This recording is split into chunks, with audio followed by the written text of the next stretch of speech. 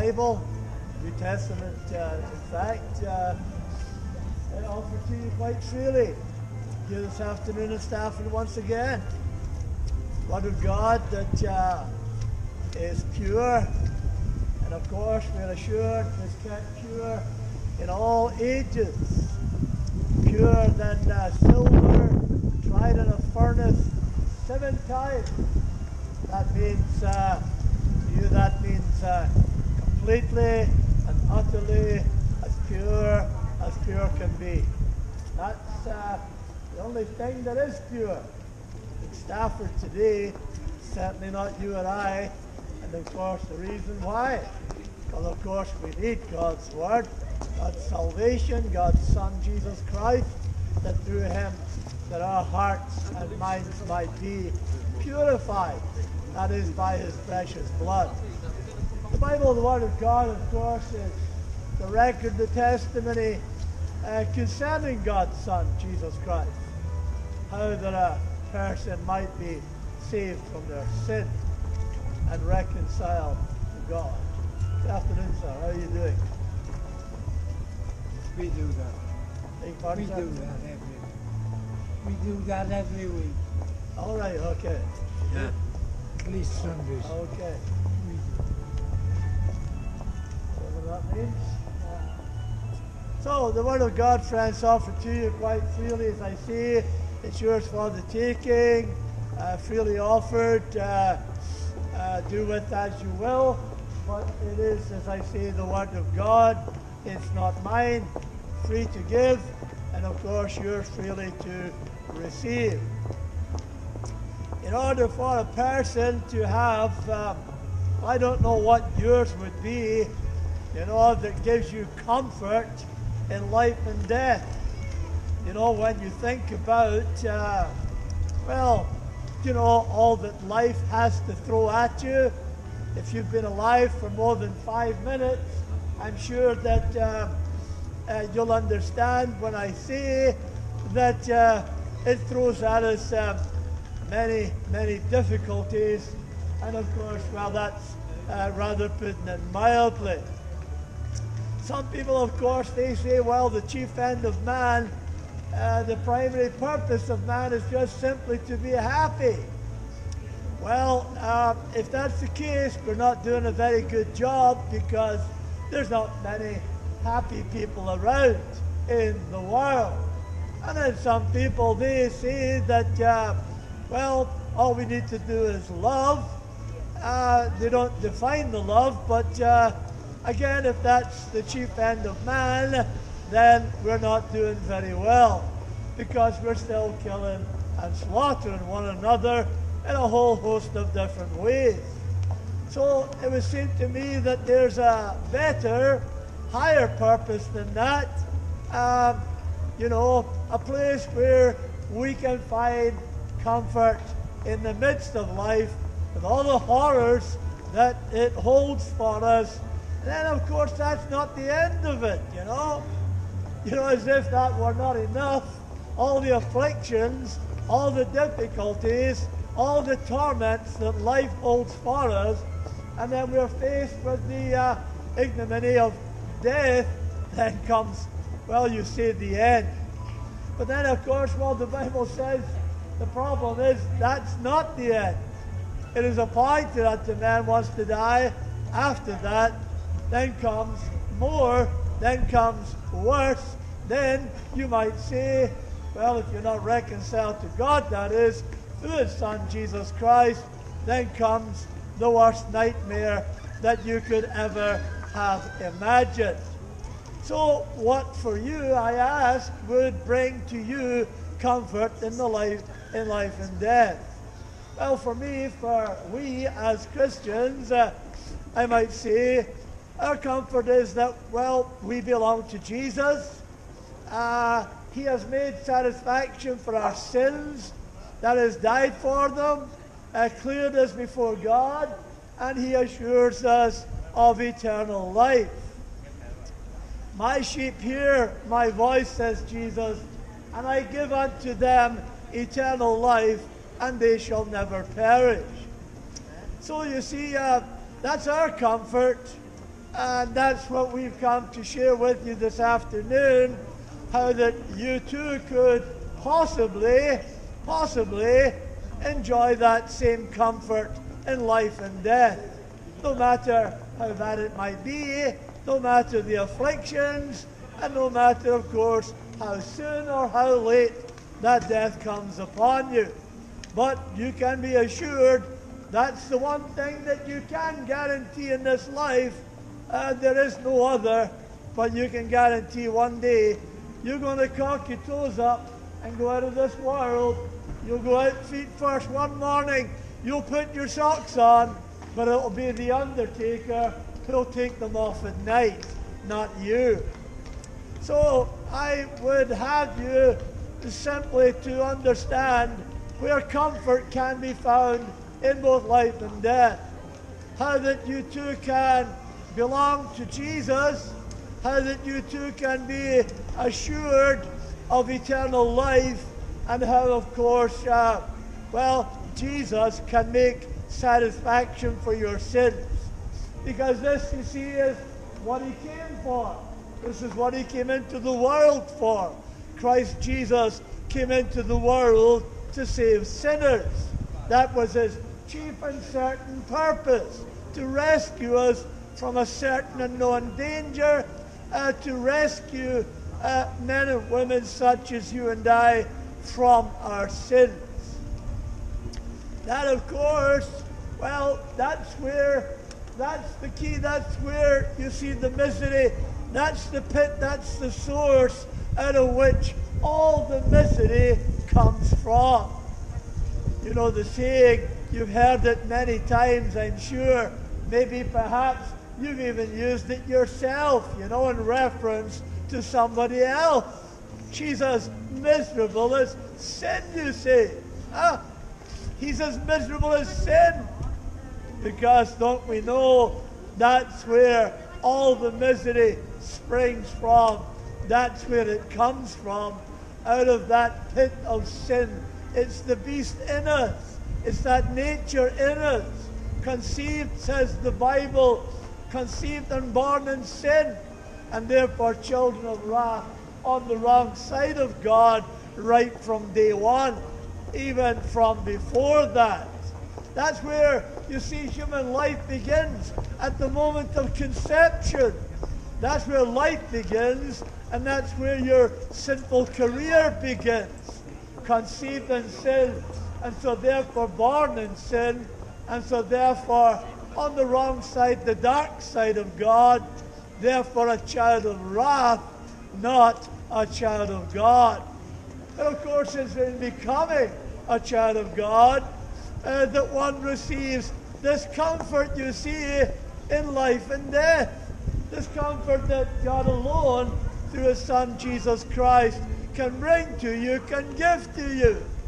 The Son of God, you see, made of a woman, made under the law, paid the penalty of the law, and died, that is, for transgressors, for sinners, in order that, well, that they might receive eternal life and know that whatever life throws at them, and however death comes to them, however soon or however late, that they might know that they have eternal life through the Son of God.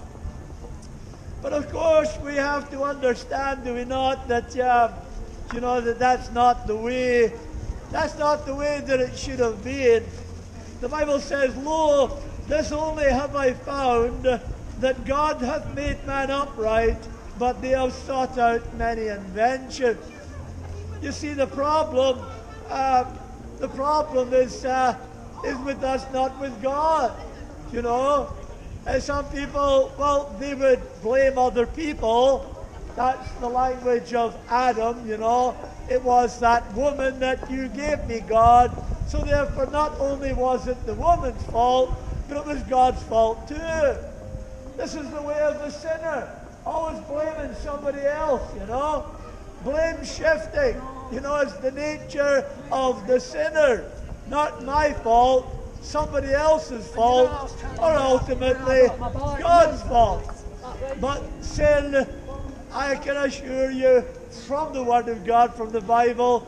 Not God's fault at all, but man's fault, man's responsibility. God made man upright, but man sought out many inventions, inventing all kinds of excuses, inventing, you know, well, all kinds of means for avoiding, you know, not believing, not trusting in God through his Son Jesus Christ, inventing ways back to God, you know, of his own devising. Religions abound, 9,900 of them in your world today, up to date, according, that is anyway, to the Oxford University Press. 9,900 religions invented by men. You see what I mean? Rather than take God's course, rather than take God's Son, rather than receive God's love, rather than receive God's recon- reconciliation, rather than receive the forgiveness of God, man would rather invent many, many other ways of his own devising. Well, friends, God made man upright, but man has sought out many inventions, from Rome to Mecca and everything else in between, every cult and sect you can possibly think of, including the religion of evolution. Thinking, of course, that that will give you some kind of defense against the Almighty in that day when He judges all men. And of course, well, you know just the same as everybody else that you are accountable, that there is a day of accountability. That day will certainly come. And it will be no good on that day blaming God or blaming anybody else. Because on that day, you see, God will reveal everything shall be laid bare in that day when God judges you. All the motives, all the intentions of your heart, everything, the books will be open and everything will be laid bare. There'll be no excuses. There'll be no blame shifting. And there will certainly be no blaming God because God will show us quite clearly that man's, it was man's responsibility. Sin, we are all of us accountable. And of course, we're faced with all this misery in life and death because of sin. That's where it comes from. Out of the same source, the same pit, everybody else, all the pain, all the suffering, all the sickness, all the death, it comes out of the same source. It comes from human sin. God did not make man that way. God made man upright, but man sought out many inventions all by himself. Man's responsibility, not God's, not at all. We are responsible for sin. Your first parent and mine, his name was Adam. And Adam brought sin and death into the world with his disobedience, his rebellion against God, and began to get children in his own sinful likeness and passed on to his posterity. That is to you and I, passed on the sinful disease. It's what the Bible calls terms original sin. The original sin was with Adam, passed on to the generations, all the way down the line, right to the very end, even to this time, so that you get children in your own sinful likeness, just as I do, just as we all do. And so God can say, you see, that there is not a man, a woman that sinneth not. All have sinned and come short of the glory of God. All. And that wickedness, young man, yeah, you'll give account for that too on that day. So repent and believe the gospel, young man, while you may. So as I was saying, you know, it's not God's uh, fault, it's not God's blame, it's man. We are responsible for that original sin just as though way back in the beginning, you yourself personally reached out and took that forbidden fruit yourself and brought that sin into the world.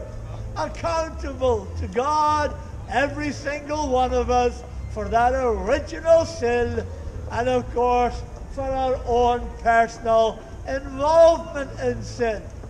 But it's from that original sin, don't you know? That's the fountain from which comes all your misery, your pain, suffering, sickness, depression, and then, of course, ultimately death. But then, of course, not ultimately, because that's not the end.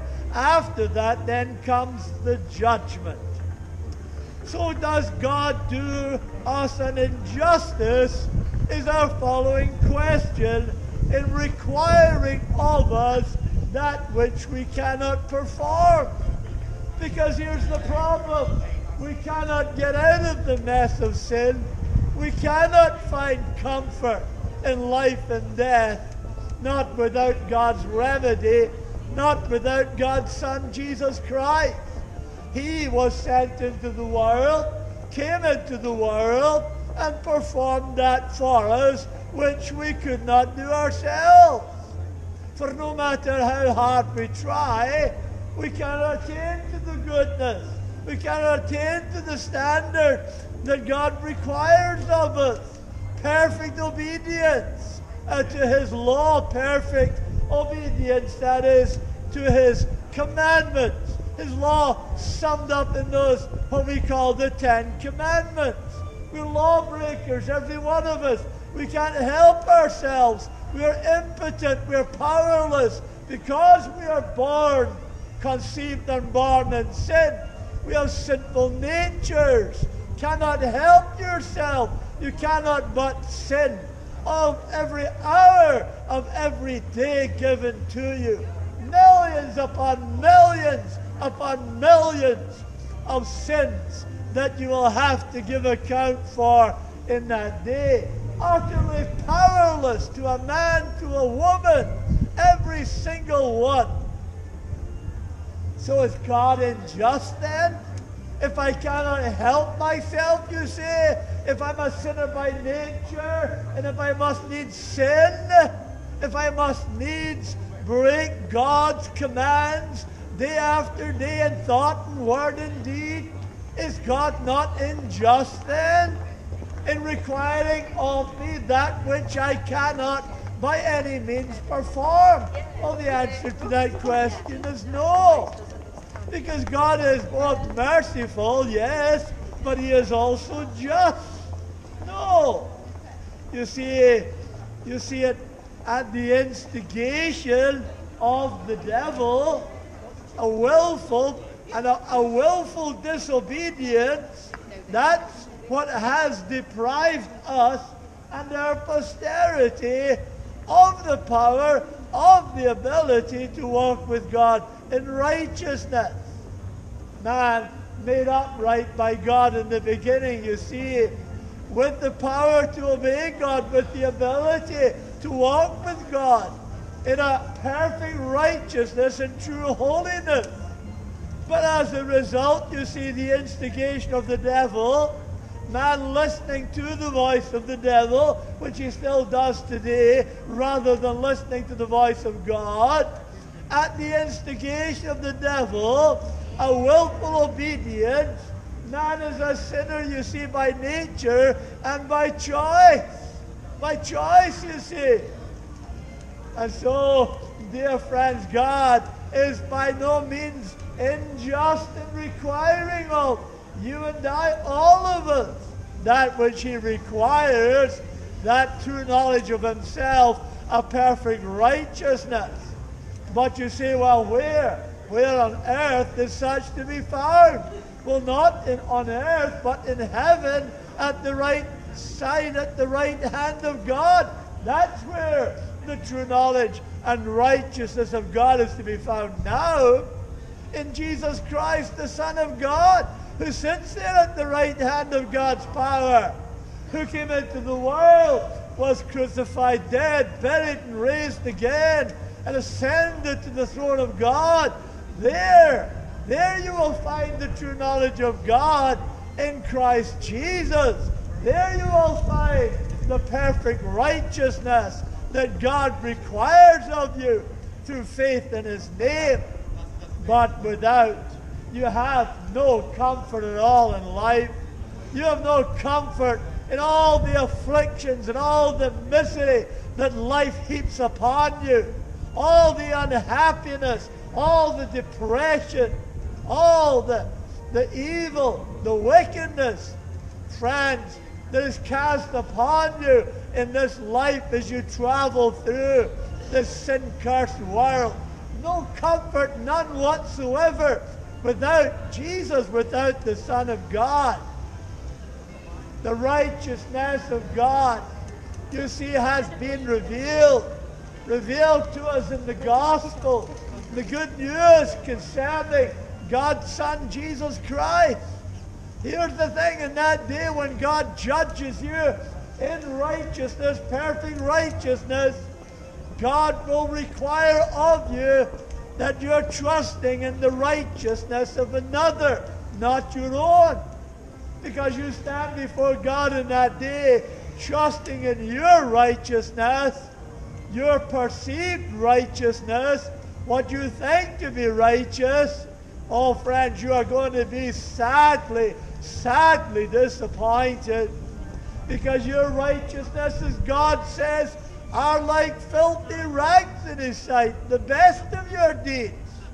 They are like tattered rags, filthy rags, says God, untouchable by God, now and in that day too.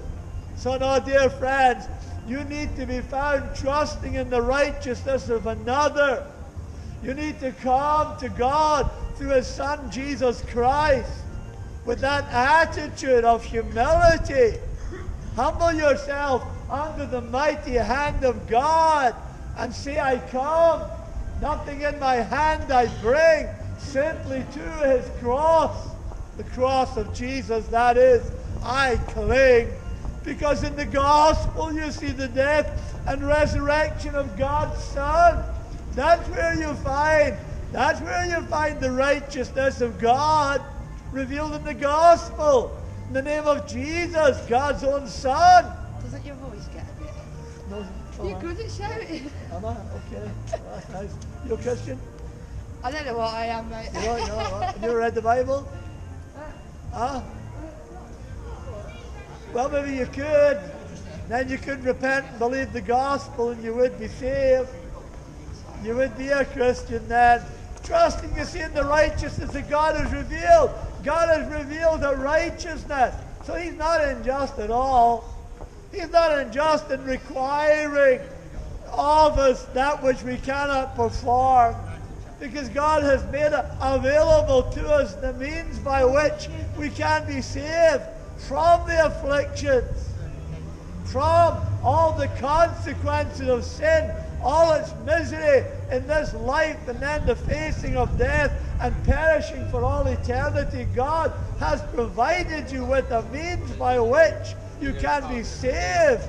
You can be brought back to the image of God, to a true knowledge of God and a perfect righteousness. This is what God requires of you, and God has provided the means by which you can not attain to such, not achieve such, but receive such. Because salvation can never be achieved by you, attained by you. It is simply and only received. He came, Jesus, that is, to his own, but his own received him not, but to as many as received him, to them, that is, who believed in his name, he gave the power to become children of God. So God is not unjust at all. The fault, the blame lies with us because of the instigation of the devil, a willful disobedience, sinners by nature and sinners by choice is what we are, all of us. We and our posterity, but God has made known the power. God has made known the means by which we can be repaired, restored to God, and to the favor of God through his dear Son, his only begotten, our Lord Jesus Christ, whom we declare to you today. So the question that follows that is, will God suffer the disobedience and the rebellion of men to go unpunished? Of course not, no. Bible reveals that God does not wink at sin the way that you and I might do, brush it under the carpet, account it as being a small thing of no consequence. Well, you see, it was just a little white lie. That little white lie is enough to damn you, any person, for all eternity. God is terribly displeased with our original sin, Adam's sin, uh, for which, of course, he holds you and I accountable, and our actual sins. God is terribly displeased. That almost, uh, that almost sounds uh, uh, quite light, really, in, uh, in light of the reality. The wrath of God is revealed from heaven, the Bible says. The holy displeasure of God, the burning, smoking wrath of God is upon men and women because of their holding the truth of God, the knowledge of God, that is, in unrighteousness, in wickedness, that is. So your sin go unpunished? No. It is already being punished because the wrath of God is all over you. Not just your own nation, but the world at large, unbelieving. The wrath of God is upon sinful humanity outside of Jesus Christ. So your sin will not go unpunished. Terribly displeased by the original sin, Adam's sin, and our actual sins. And his judgment, of course, is both temporal in this world. You see, the Bible tells us that there are consequences now in this world for our sin and unbelief. That's why many people in your society today are already broken in body, broken in mind, some lies lie in ruins as a result of their sinful practice, their sinful living. It's the punishment of God, you see. There are no such things, friends, as accidents. You know, when we read of some horrific, some horrific uh, crime, you know, and human life is taken, whether by war, by famine, you know, or by what you count to be accidents, there are no accidents. People's lives are taken in the judgment, in the wrath of God as a result of sin. It's the punishment. It's what's due to us. We got no complaint. And when you see such things happening, terrible disasters, shootings, you know, men and women killed, or tragedies that take human life, the question that ought to be in your mind is, well, where would you be with God if you were involved in that? Because as Jesus says, except ye repent, ye shall all likewise perish. So sin is most certainly punished now in this world, in this life. And maybe, who knows, perhaps some of the things that are falling out to you at this present time, maybe that's what you ought to be thinking, is where does this come from? Hear ye the rod, and who hath appointed it? That is the question that perhaps ought to be in your mind.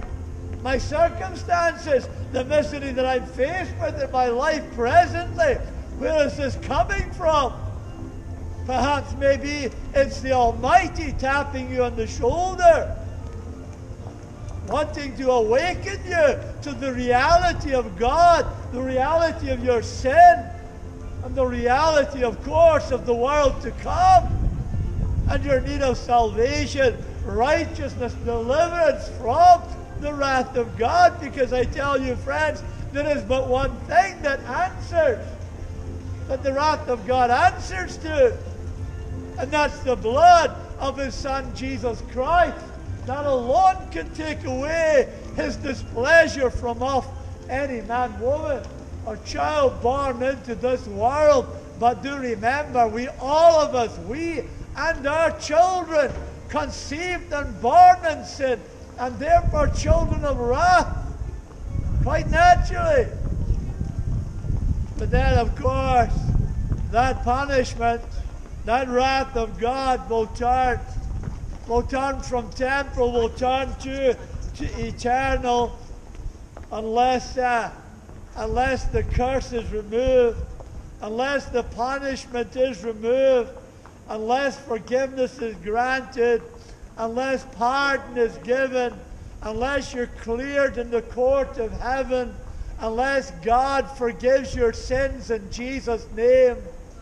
Friends, there's only one way that a man or woman can be reconciled to God, that that wrath, that that curse for sin, that that punishment can be removed. And God has provided the means. God sending his son into the world. The Lamb of God he's called in the New Testament, which taketh away the sin of the world and would take away yours. And taking away your sin, take away the wrath of God. Nothing else will take it away. It remains upon you, hangs over you like the sword of Damocles, waiting to fall upon you at any given moment, lest you repent and believe the gospel but the means was provided for you. Lamb of God was slain from before the foundation of the world. God, in His loving kindness, provided such, planned for such, before even man sinned against Him. And today, still, yet men and women are being reconciled to God the world over, men and women are finding salvation in Christ Jesus. Not religion, but salvation. Forgiveness, not religion. Reconciliation to God, rightness with God, safety, comfort in life and death. Real comfort in life and death, knowing that they belong to Jesus, that they're not their own knowing that their sins, the satisfaction has been made for their sins, and knowing eternal life through Jesus Christ, the Son of God, who came into the world for that reason and for that purpose. Do you know that comfort? Do you have that comfort in life and death? Oh, you might ask. The question begs itself is God not merciful? Yes, He is. But He's also just too. He's also just, absolutely just. He'll not punish one innocent person. No innocent person will ever go to hell. But, friends, there is no such thing as an innocent person. Conceived and born in sin, all of us, every man, woman, and child, born into this world except for one that is Jesus Christ, the Son of God. So you see, God is just, God is perfectly just, but He is merciful too. Oh, He is very merciful. Why He bids you seek ye the Lord while He may be found. Call ye upon Him while He is near. Let the wicked forsake his way, and the unrighteous man his thoughts and let him return to the Lord, and he will show mercy and abundantly pardon. Yes, there is mercy with God. This is the heart of the gospel that there is forgiveness with God, that there is a way back to God, that there is a way out of the misery of life and death. That there is a way by which a man can be assured of eternal life. Sins can be satisfied for. There's a way by which a man or woman can have comfort in life and death But if you reject God, if you reject the salvation, if you reject the medicine, well, whose blame is it? You go to the doctor, and the doctor tells you you've got terminal disease, and he puts the medicine on the table, and you walk out of his surgery and leave the medicine sitting on the table. Well, who are you going to blame when you die? You're going to blame the doctor? You're going to blame the medicine, the chemist? Who are you going to blame? Nobody's fault but yours. You would not take the medicine. Well, God has provided the medicine. His Son, the blood of His Son, Jesus Christ, shed on the cross that you might be healed, that you might be made well, that you might be made, brought back to God, that you might be given comfort in life and death, and the assurance of eternal life. My sheep hear my voice. Maybe you don't hear the voice of the shepherd because you're not one of his. I don't know. Only you can answer that question, but my sheep hear my voice, and I give unto them eternal life, and they shall never perish. Never. Do you have that comfort? Do you have that assurance? Are you trusting in Jesus? Because that's the only way you can have it. Believe on the Lord Jesus Christ, and thou shalt be saved, is God's command with the promise. The assurance for everyone who believes is eternal life, is the forgiveness of their sins, is reconciliation to God. Believe on the Lord Jesus Christ, but it's believers. It's only believers that are saved. It's only believers that are reconciled to God. Unbelievers are not. Unbelievers remain under the wrath of God, the displeasure of God. God has provided you with the means, but will you will you make use of the means? God requires, God is merciful, but He requires that sin be punished. And God punished sin in His own Son. That's what the cross was all about. Jesus, prior to the cross, would have had the cup passed from Him. So horrific, so horrible was the thought of it. The wrath of God, of the Almighty for the sins of the world coming upon Him. Let this cup pass from me, He said. But there was no other way by which man could be reconciled to God but through the death of his son. So that sin was punished, punished severely in his son. On that cross, hell fell upon him, the hell that was due to the sinners of this world. But if Jesus did not take your sin, if Jesus did not take your wrath, if Jesus did not take your hell upon himself on that cross, you will bear it yourself. Every iota, every last ounce of it, you will bear yourself. In that day, when God judges the human race as he will and as he must do.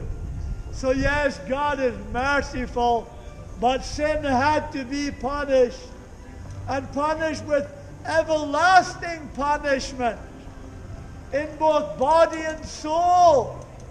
It's why Jesus came into the world. It's why he was conceived of the Holy Spirit. He did not have an earthly father because the sin nature is passed on through the loins of the male, the father. He was without sin. That qualified him to be the sin bearer, to go to the cross, to die for sinners, to take that punishment upon himself that it might not be yours or mine. He bore the wrath of God. He bore the eternal punishment, punishment of God upon himself in both body and soul. The darkness that fell upon him, the darkness that was due to you and to I. Hell, friends, hell descended upon the lovely, beautiful Son of God. Jesus so loved the world that he gave himself up to that death, to that hell, that it might not be yours. Please do not be saying to me, my life is hell. No, it's not. It's not. I hear foolish, stupid young people saying to me in these days, oh hell, that's wonderful. I'll be there. I'll party with all my friends. No, you won't. You'll be more miserable, miserable, and lonely than ever you imagined it was possible for a person to be. Misery in this life, friends, friends, there's comfort to be had in both life and death. But it's gotten only through faith in the Son of God where you can come to know that you're not your own, but you belong to a faithful Savior, Jesus. And that you can know you have the assurance that He has made satisfaction for your sins. And you can know that you have eternal life in His name. But without that faith, without faith in His name, there is no comfort, not at all for you. And bad and bad as things might be just now, it will only get worse. It is appointed unto man once to die. That's not the end. After that comes the judgment. Your worst nightmare will only, only just have been begun. So I bid you to go to Jesus, the only one who can give you comfort in life and death, the only one who can give you that assurance. Must needs hear his voice, not mine. My sheep hear my voice, and I give, give, give, give, give, because he's a giving God. Giving, always giving, abundantly giving, giving. My sheep hear my voice, and I give unto them eternal life. He gives the faith, He gives the repentance, He gives everything. It's not of you, it's not of man, it's not of me. You can no more believe by yourself than you can pull yourself up by your bootlaces. He must give it, but you must go to Him. You must go to Him and you must implore Him. You must get on your knees. Go home and shut your door. Nail it shut if you have to. And get on your knees and cry out to Him. Give me eternal life. Give me the faith. Give me to believe. Give me, give me, give me. Have mercy upon me, a sinner. Give me that comfort in life and death. Ask and it shall be given. Seek and ye shall find. Knock and the door shall be opened unto you. My faithful Savior says, Will you not go to him? Will you not have comfort in life and death? Or will you go through the misery? Will you face the end? Will you face the torments of everlasting darkness and hell?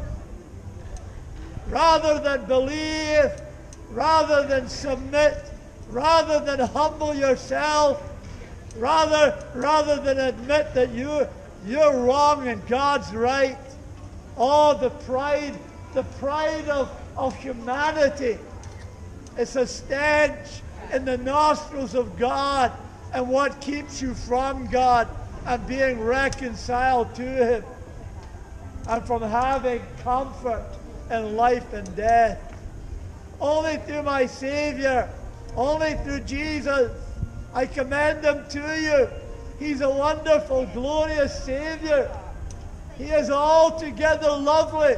He's the fairest of 10,000. He's the lily of the valley. He's the rose of Sharon. He's wonderful. He's a gracious Savior. He's kind and merciful. Oh, go to Him. Repent, madam, and believe the gospel. Today, If you will hear his voice, harden not your hearts. Believe, believe, believe. Only believe, says Jesus. If thou canst believe, all things are possible to him that believeth. Only believe, trust. Believe on the Lord Jesus Christ is the call of God to you today. God commands all men to believe, commands all men to repent and to believe the gospel, the words of the Savior. Repent ye and believe the gospel. Why? Because the kingdom of God is at hand. Repent ye and believe the gospel, Stafford. Repent ye and believe the gospel. Repent ye and believe the gospel. For the kingdom of God is at hand. And like a copy of God's word, check these things out for yourself. See that they are so in accordance with the word of God offered freely to you, yours for the taking. You'd like one? Do feel free to come and ask for one. Gladly place it into your hand. May God bless you and have mercy upon your precious, precious, never dying souls.